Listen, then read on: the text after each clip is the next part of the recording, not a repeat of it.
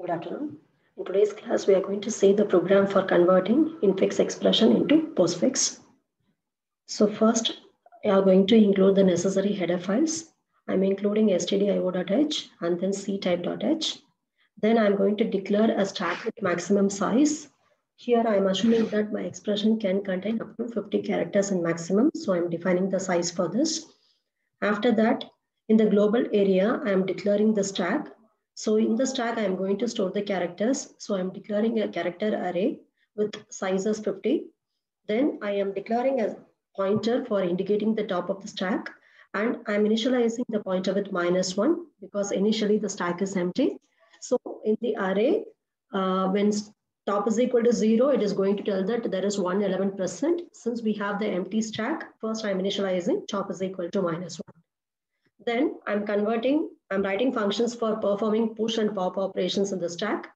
So in case of push, you're going to insert one character. So you're going to pass an argument as a character. Then first you are going to in increment top by one. After that, in stack of top, you have to add the value x. So in case of push, there is no return value. So the return type is void. Then uh, in case of pop function, whatever is present on the top of the stack, that character will be returned.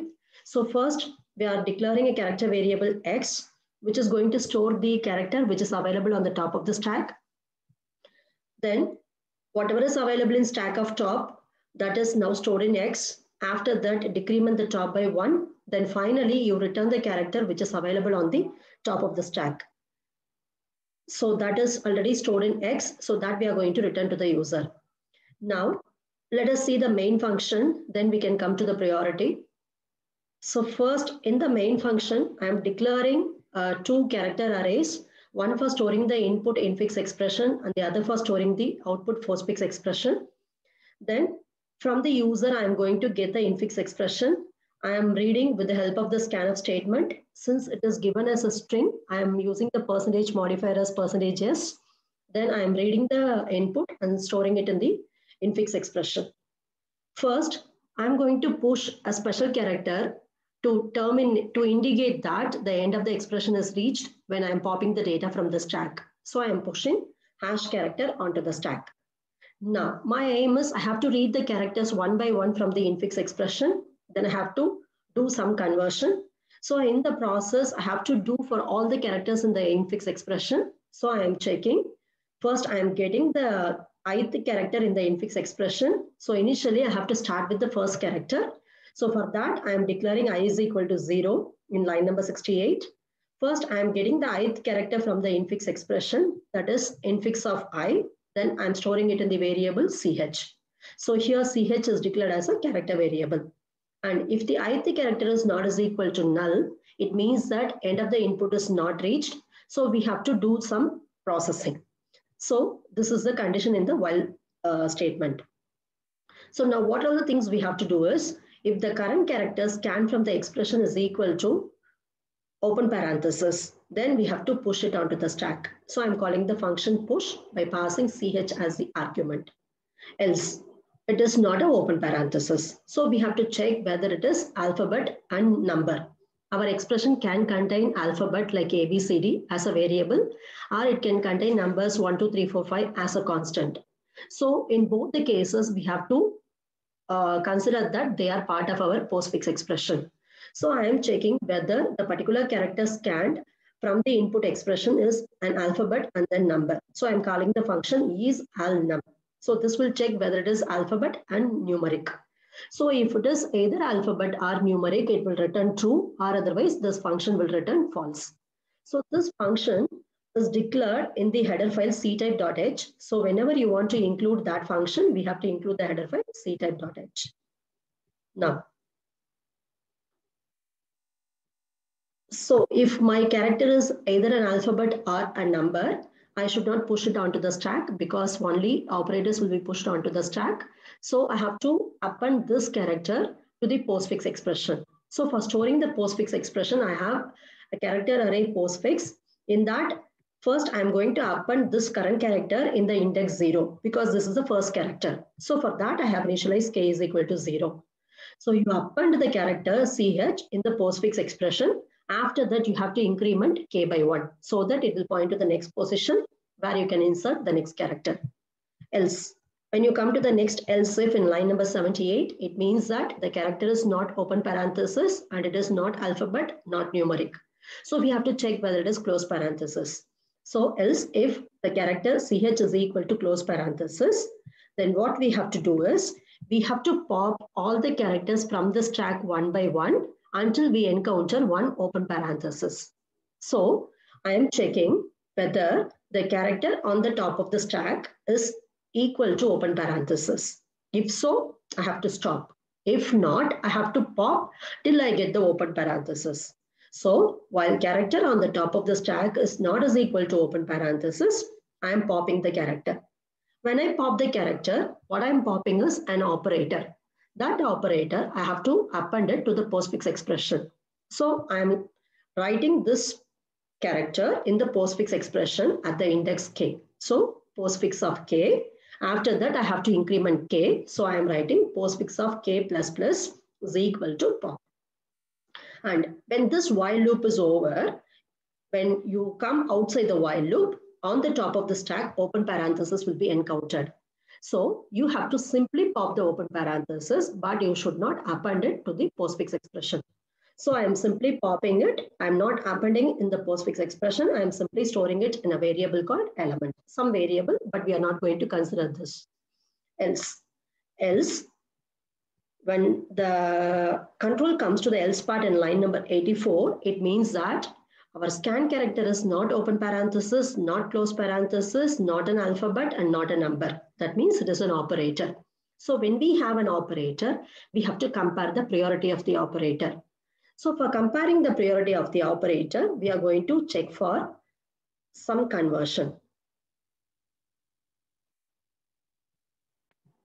So uh, here we have to compare the precedent associativity. So we are going to consider only the binary arithmetic operators. So we will consider the exponentiation operator, then um, multiplication, division, and percentage. Here we are not going to consider percentage. Only we will consider multiplication and division, then addition and subtraction. So out of these three, according to precedence, exponentiation is having the highest precedence, then multiplication and division next highest, and then plus and minus.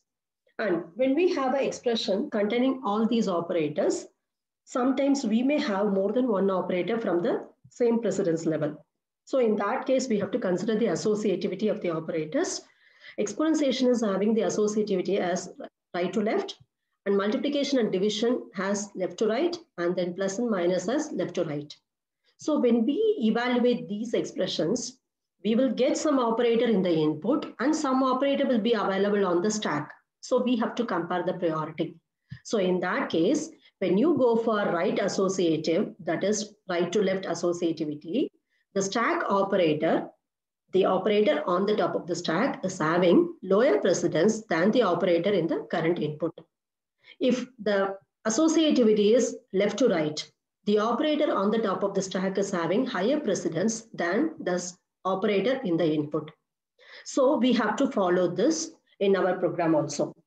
Now I'm going to assign priority according to this particular table.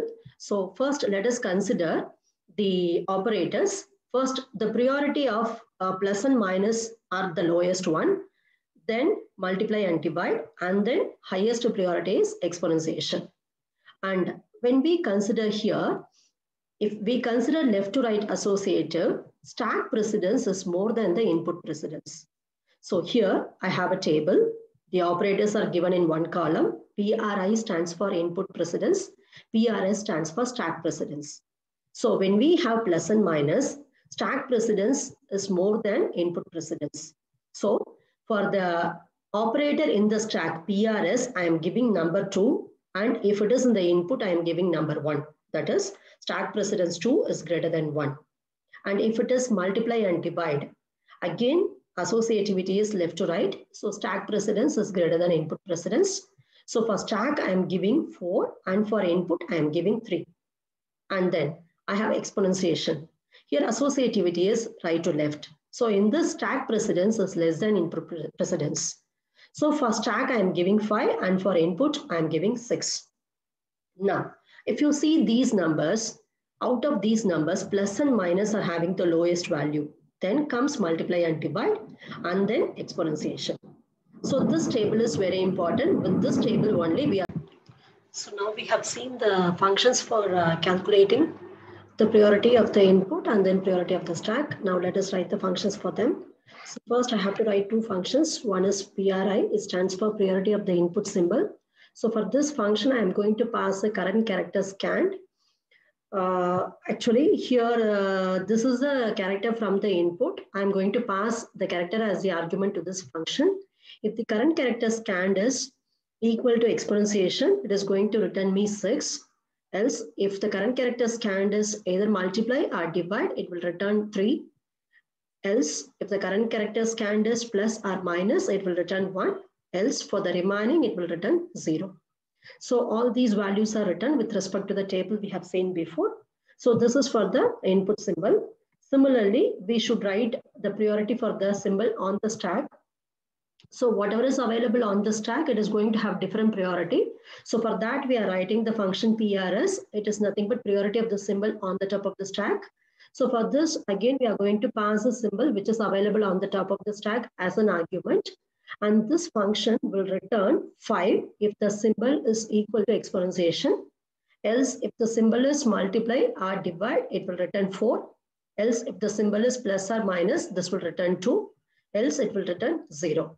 So in all these cases, we are returning integers. So the return type of this function is also integer. Now let us continue with our main function. So when the control comes to the else part in line number 84, it means that in our input, we have scanned an operator. So we have to compare the priority of the operator in the current input with the priority of the operator on the top of the stack. So if the priority of the current character scanned is greater than the operator on the top of the stack, you can push it. If not, you have to pop all the characters from the stack till you get the priority on the top of the stack less than the priority of the symbol in our input. So I'm writing while priority of current input character, that is PRI of CH, is less than or equal to priority of the stack character that is nothing but on the top of the stack, whatever character is available, that priority you have to check. So to the PRS function, I am passing stack of top. So this is the character on the top of the stack. If the input symbol priority is less than or equal to priority of the character on the top of the stack, we have to pop all the characters one by one. So I am popping it. The moment I pop the character, I have to write it to the output postfix expression. So I'm writing it to the postfix expression at the index k. After that, I have to increment k by 1. So it is k plus plus. And finally, when we come outside the while loop, it means that the current character in the input is having more priority than the priority of the character on the top of the stack. So we are going to push the current character onto the stack. And when we come to line number 89, it means that we have finished for a particular scan character. So we have to now go to the next character in the input. So I'm incrementing i by 1. And finally, when the while loop is over, when we come outside the while loop in line number 92, it means that we have scanned all the characters in our input expression. And currently our input expression contains the null character, which is indicating that end of the input is reached. So now at this point of time, your input scanning is over but still you will have some characters which are available on the stack. Those are nothing but the operators. You have to pop all the operators one by one. And uh, to indicate the ending, we have already stored hash onto the stack. So we have to pop all the characters one by one from the stack till we encounter hash. So I am checking whether the character on the top of the stack is not is equal to hash. If so, I have to pop it. So I'm popping the character after I pop the character, I have to write it to the postfix expression. So I'm appending it at the index k. Then I'm incrementing the value of k by 1. And finally, when we have a hash character on the top of the stack, it will come outside the while loop. The condition will become false. So it will come to line number 94. So it means that we have the stack as empty. So nothing to pop more. So our conversion process is over. So we have to append null character at the end of the postfix expression. because we are going to print it. All the strings must be terminated by the null character. So in postfix of k, I am adding null character. And finally, our entire conversion is over.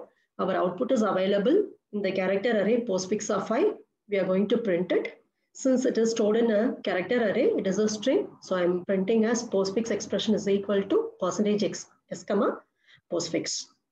Now we are going to run the program.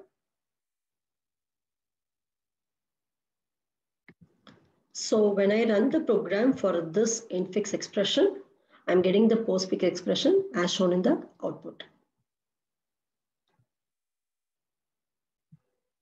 Next, I'm running the program for an expression which contains uh, the exponentiation operator also. So this operator contains all the operators which are available in the arithmetic operator category. So here I am getting the postfix output as follows. So thank you.